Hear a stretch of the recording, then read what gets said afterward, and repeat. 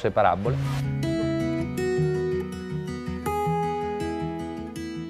Oggi abbiamo l'onore di condividere il nostro spazio con Vincenzo Floridia, ingegnere meccanico con grande esperienza nel campo delle energie rinnovabili, attualmente alla guida della filiale italiana del gruppo Ecoprime. Incomincia la sua avventura addirittura a Singapore per il gruppo Siena.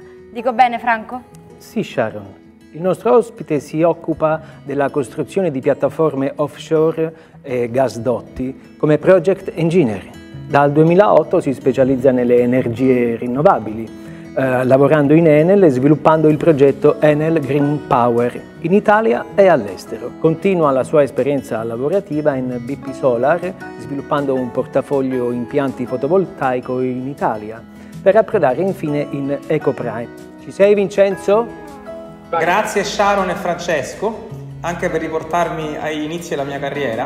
Io ho iniziato nell'oil and gas a Singapore appunto, in un'epoca in cui le energie rinnovabili erano molto poco diffuse e conosciute Oggi le energie rinnovabili sono una tecnologia matura che in termini di competitività ha superato gli impianti tradizionali a fonti fossili.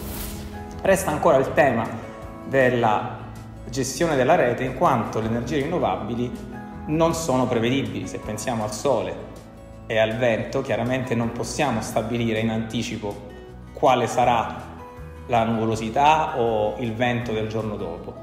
Per questo abbiamo in parallelo alle energie tradizionali, quindi al solare e all'eolico, abbiamo sviluppato una tecnologia, solare termodinamico, che consente di risolvere il tema della prevedibilità delle fonti rinnovabili.